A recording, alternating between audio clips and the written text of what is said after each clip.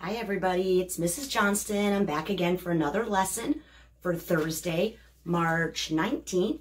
Um, I was at um, Windermere yesterday and it was really nice to see everybody. I noticed that some people posted some pictures of the Giuseppe Arcimboldo collages that we did. Um, we're going to do another fun project today that you can use found objects that you found around your house. Um, and I'll tell you a little bit more about that in a minute. Today I'm going to read you a book and we can do a literature lesson along with an integrated arts lesson. And this is kind of a fun one. Um, I will show you some examples that I made. I think I might have got a video editing app on my phone that will splice my two videos together so I can have one.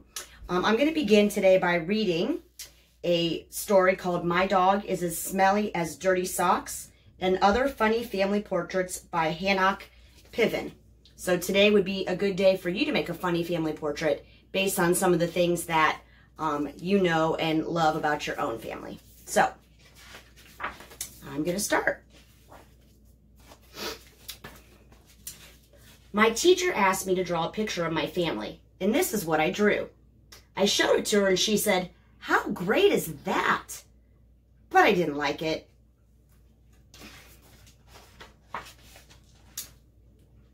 At my dad. There are so many things about him that you don't see in this picture. Like, my daddy is as jumpy as a spring and as playful as a spinning top. He is as fun as a party favor, but sometimes he's as stubborn as a knot in a rope.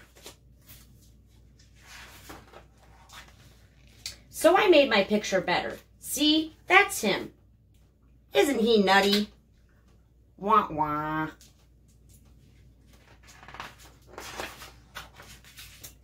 About this drawing of my mom? Sorry, but it doesn't tell the whole story. My mommy is as soft as the softest fluff and as bright as the brightest light. She is as tasty as the crunchiest cookie. No, tastier. She's as delicious as a croissant. Personally, I prefer the cookie. That's my yummy mommy. Mommy, I'm going to eat you all up.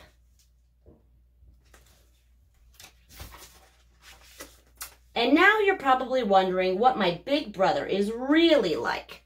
Well, my brother is as amusing as a game of marbles and as strong as a baseball bat. But when we play hide and seek, he's as sneaky as a snake.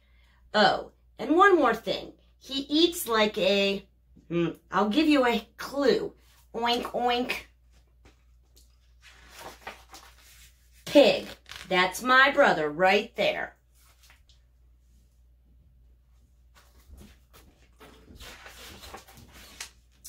And what about my baby brother? He's not this quiet. Here's the picture. Can't hear any noise from him. My baby brother is as sweet as candy. This is true.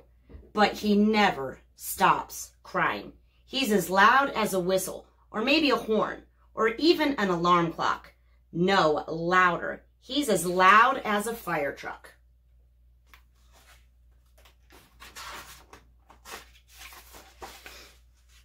Isn't he cute? Now, shh. And then there's Schmutz. I'll be honest with you. Schmutz stinks. Schmutz is as stinky as an onion. He's as nasty as canned fish, as icky as pepperoni, and as smelly as dirty socks. Turn the page at your own risk. So here's a picture of Schmutz and all the things that he's as stinky as. I'm going to be really careful turning this because... Yucky boo! I warned you!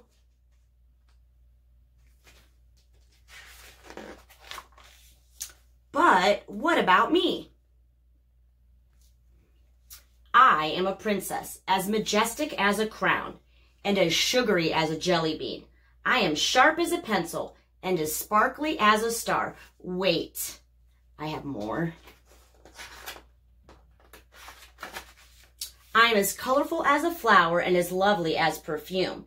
And I'm as strong as a stone and as good as an angel. Hey, I'm not done yet.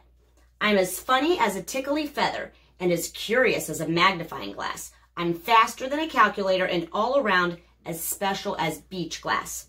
But more important than all of that, was kind of a lot. My heart is big.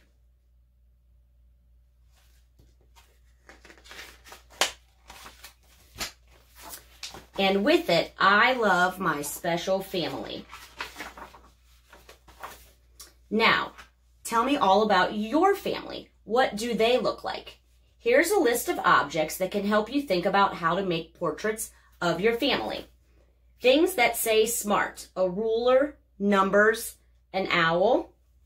Things that say funny, chattering teeth, a clown no, a clown nose, a toy monkey, Things that say scratchy, steel wool, sharp teeth, a cactus. Things that say soft, a teddy bear, a cotton ball, a slipper. Things that say strong, action figure, an elephant, or a hammer. And here's some different portraits that different children just like you have made using this book for inspiration. Again, this book was called My Dog is as smelly as dirty socks and other funny family portraits by Hanoch Piven. So, anybody want to take a guess what you're going to do today? That's right. You're going to try and use some found objects to use for creating a portrait of somebody in your family.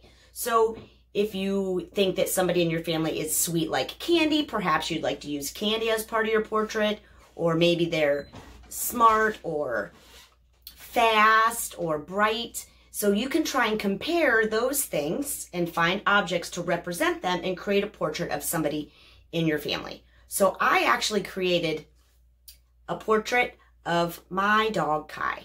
And I'm going to press pause and then I'm going to show you what I did with that. Also, something fun that you can do with your found objects is to create a color wheel. So try and find objects for all the different colors in the color wheel the primary colors, red, yellow, and blue, and then the secondary colors, orange, purple, and green. For my older students in fifth grade and up, you can add in the tertiary colors, which are those double colors, blue, green, blue, violet, yellow, green, yellow, orange, red, violet, and blue, violet. I think I got all of them, but I'll, I'll double check. And I'll show you again on my um, paper that I did. So those are a couple of fun things that you can do with your um, found objects. And I'm going to press pause here and then I'm going to turn the camera around and show you what I made. So just one second. So first of all, here is my, oh, that little remote control is not supposed to be part of that picture. And it rolled. So many of you have seen a picture of my dog, Kai. Oh, the Reese's cup's not supposed to be there either. So I'm comparing my dog Kai to some different things. She is as smart as the brightest bulb. She is as tough as nails. Oh, there goes her head again. She is, her fur is soft and silky like ribbon. She is as stubborn as a knot. And she is as fluffy as cotton. So that would be how I would do my portrait. I didn't even glue anything down. So um, you can do the same, although you do have that hazard of things rolling. So I did take a quick picture, so I will post those on Facebook. Now I also did the color wheel. Let me bring you over here. And I used objects that I found around um, downstairs in the studio to create a color wheel. So we have our primary colors, red, yellow, and blue. And then we have our secondary colors, orange, purple, and green. And then in between were our tertiary, tertiary colors, or as one of my um, kindergarten or first graders asked me about the third dairy colors. So this is yellow-orange and red-orange that you would get by mixing the two colors on either side.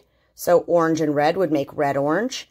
Yellow and orange would make yellow orange, red violet, blue violet, blue green, and yellow green. So that's why you have all those extra colors in your crayon box because those are all part of the color wheel. So those should be some fun activities that you can do with your found objects today. or go and find those objects um, after you watch our video. So that's going to be it for today. I hope that you enjoyed the story and that you can find some fun um, representations of people in your family and use them to create a portrait or perhaps use your found objects to create a color wheel or who knows, maybe both. Um, I had a good time reading this book to you. I look forward to our time together tomorrow. Um, please be prepared today as you hopefully go out and take a walk and gather some items from nature. We're going to be talking about a new artist tomorrow named Andy Goldsworthy, and I'm going to show you some pictures of his work. This might be a fun activity to do outside. I might even take my camera outside tomorrow to do my video for you. So I hope you guys all have a great day. Um, let's see, what else did I want to say? Oh, I almost forgot. Yesterday was my friend Nora's birthday. Nora was a student at Windermere School last year, and she moved to North Canton. And yesterday, the 18th of March, Nora turned 10. So I'd like to wish Nora a very happy birthday. I hope you had a great day, and I look forward to seeing some of your artwork online. So bye, everybody. Stay safe, and don't forget to wash your hands.